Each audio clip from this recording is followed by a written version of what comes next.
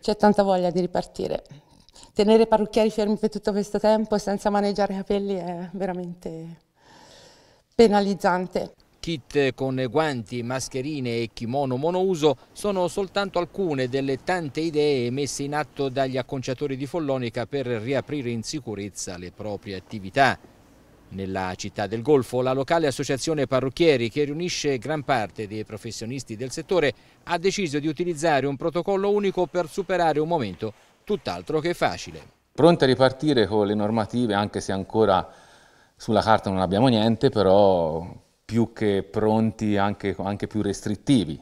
Diciamo per questo è nato questo progetto proprio anticipare le cose anche se erano restrittive, questo ti proteggiamo noi, tutti i parrucchieri dell'Associazione Parrucchieri Follonica avranno il compito di proteggere i clienti.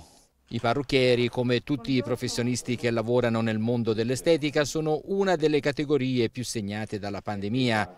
Le loro attività sono state le prime a chiudere e saranno tra le ultime a riaprire proprio perché il contatto con il cliente non può essere evitato. Ci siamo organizzati bene, guanti, mascherina, kimoni all'entrata, eh, gel igienizzanti, spray per i bancomat, tutto il locale sarà sanificato prima di rincominciare,